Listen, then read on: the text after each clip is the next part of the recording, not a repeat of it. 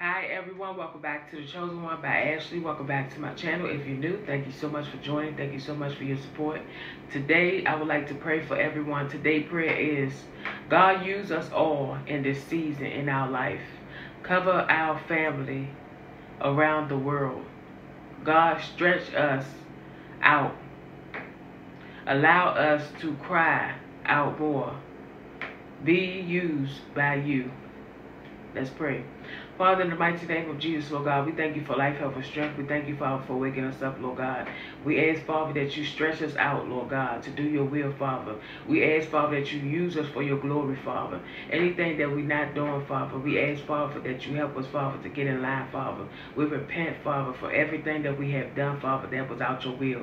Lord God, we ask, Father, that you clean us up in this season in our life, Lord God. We ask, Father, that you cover us, that you use us, Father, for your glory, Father. Anything that we need to do, Father, to attach ourselves to you, Lord God. Help us, Father, to get back in line, Lord God. We repent, Father, for everything that we have done, Lord God. Anyone that is not saved, anyone that has the desire to get saved, Lord God, save them right now, Father.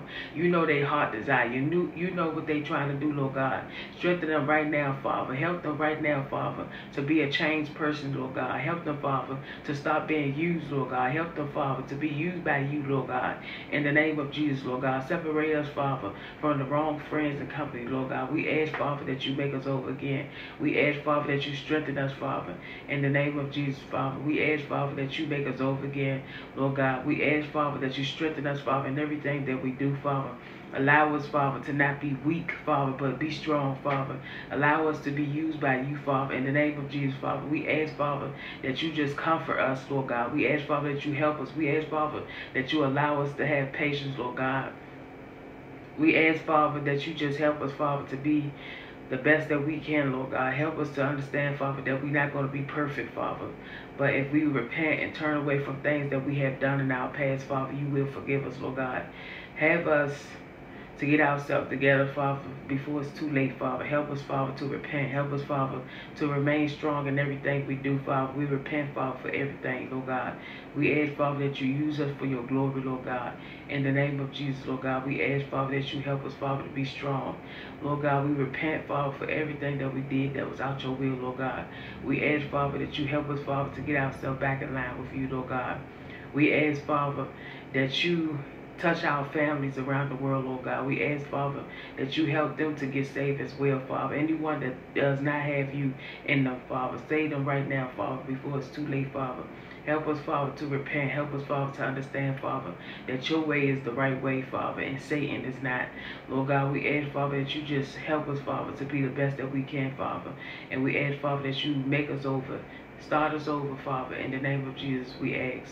And we ask, Father, that you just touch everyone in the hospital room, Father. Deliver them, Father, from evil.